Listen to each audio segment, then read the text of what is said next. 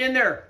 Oh, Got a little bit of purple monster. Hello, everybody. I'm Richard Holdener, and as always, welcome to the channel. This is it. This is the one you've been waiting for. We have the turbo kit from richardholdenerperformance.com, and we started off with the bigger G42 turbo. Now, you might be asking yourself, why didn't you go with the smaller GTX 3584 RS that has immediate boost? We know that it's going to do that, and yes, we tested it. We got lots more stuff coming up, but right now, we have the kit we have the bigger G42 Turbo because we wanted to find out, does it work on the smaller 5.3? Will it work on the street? The answer is yes. Will it work for towing? The answer is yes, because we tested all of this stuff. We ran the thing on pump gas. We ran on E85. We took it out on the street and actually towed with it. And we also wanted to find out how quickly does it make boost. Okay guys, we got the Tahoe Turbo Kit up and running, just getting ready to tune, but before we check out what happened when we ran the thing on the dyno and tried to make some boost, let's take a look back and see where it started. All right, baseline on the Tahoe, 5.3, used about a bajillion miles on it.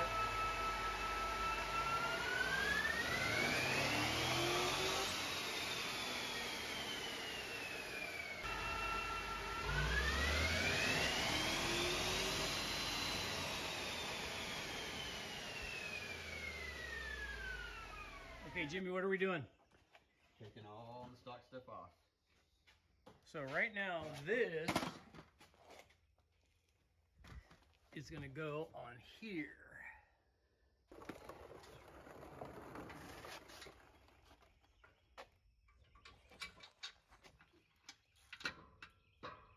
Wow. Ready?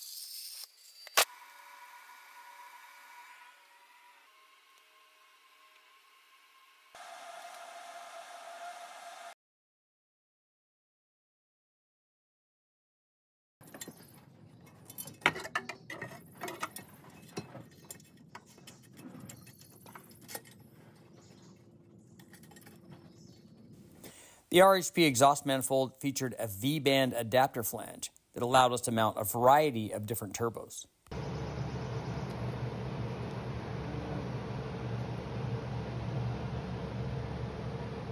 We started by mocking up the larger G42 turbo.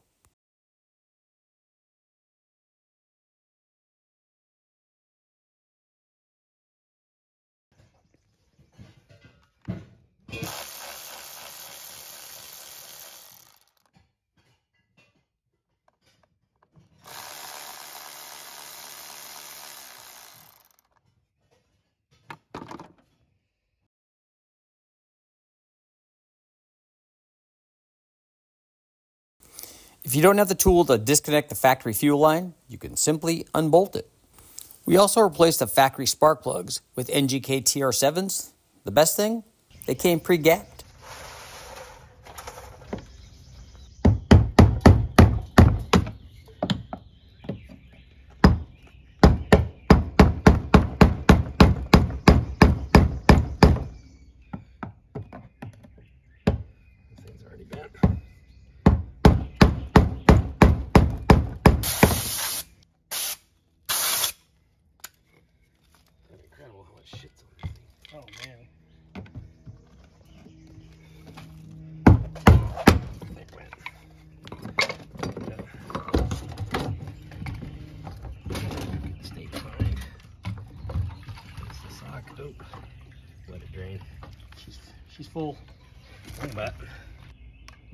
you cut yourself in the face. Yeah, that's gonna happen. Bound to happen. A little more.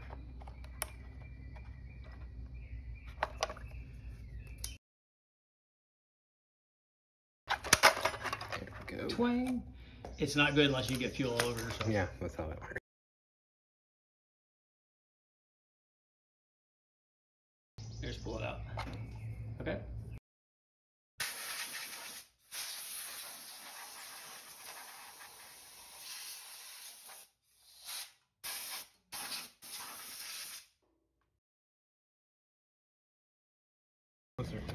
Pry against it to get this.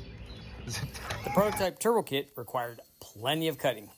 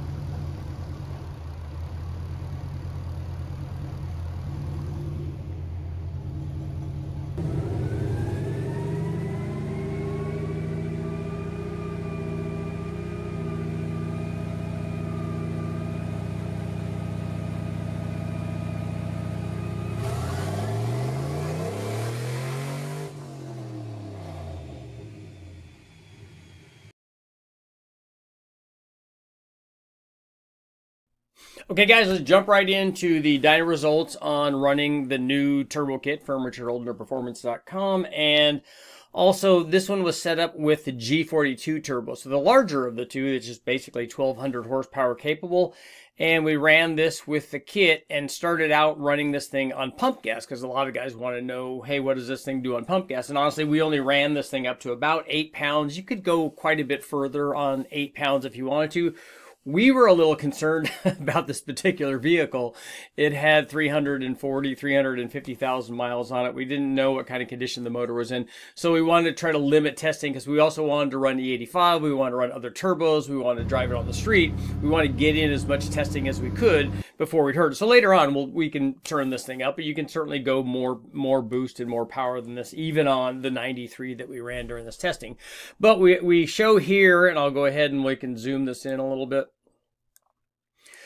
So this thing made 237, 238 horsepower naturally aspirated, and you could see what we did was step up success successively in different boost levels. We started out with just the spring on our wastegate, and that produced uh, this. The wastegate comes with dual springs. We took one of them out, and we ran this thing with just a single spring to start out at the lowest boost level that we could. That produced a little over four pounds, four and a quarter pounds 325 horsepower and 328 foot-pounds.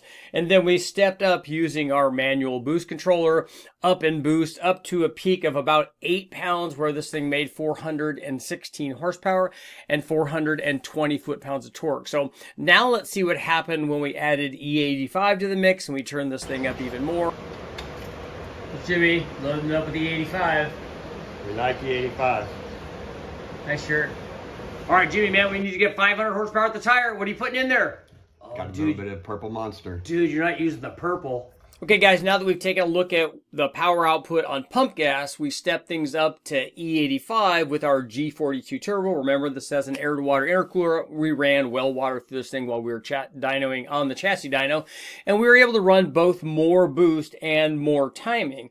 On the pump gas setup, normally we were running at 15 degrees or so of timing at the horsepower peak and less down below that where the torque peak is and, and on the onset when we're getting into the throttle we're able to run 18 19 20 degrees of timing and more boost on this thing. We ran it up to a peak of about 12 pounds 12.2 pounds 183 kpa on this thing where it made 516 horsepower. Let's go ahead and we'll zoom in on this a little bit so you guys can see But just like with the pump gas, we started out at very low boost and then just started adding boost with our manual controller and went up and up and up in boost. And the goal for the pump gas setup was to make 400 horsepower at the tire. And then the goal for the E85 was to make over 500 horsepower. And again, this turbo will go to 1200 horsepower flywheel. So there's a lot more left in it, but we were concerned about our 4L60 transmission and the drive shaft speed, which is why we ran this thing in second gear.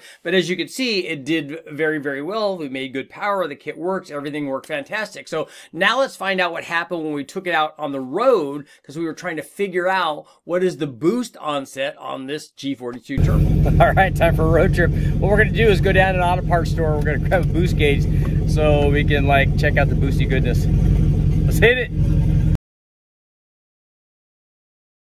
Okay, we went to AutoZone, got a boost gauge. We had to go to Ace to get a little adapter to make it all work. Jimmy dropped the ferrule, he's looking for it. so we're gonna hook this up so we can see if we have any boost.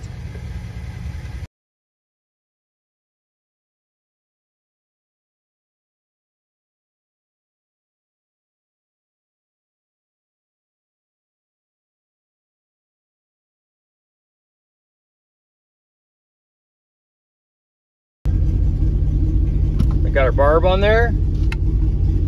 She's idling. We got boost gauge.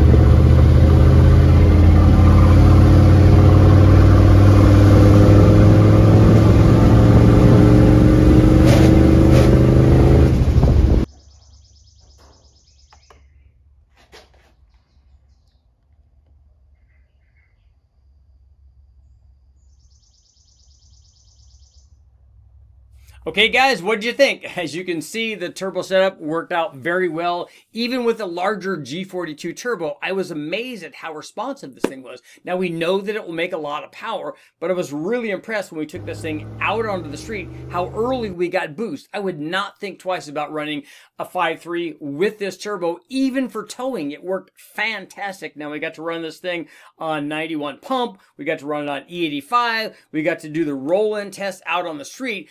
Coming up in future videos, we're going to compare this G42 turbo to the smaller GTX 3584 RS turbo. We even ran that with two different AR housings. We ran an 83 and a 121. So we're going to compare the tight AR to the looser AR to the G42. We got a lot of cool stuff. And as we speak right now, Jimmy is installing the factory catback exhaust on this thing and connecting to the turbo. So we have exhaust tests. We got a ton of stuff coming. So make sure you stick around. I'm Richard Holdener. Please make sure like, share, subscribe, ring the bell, do all that stuff. And I'll keep testing.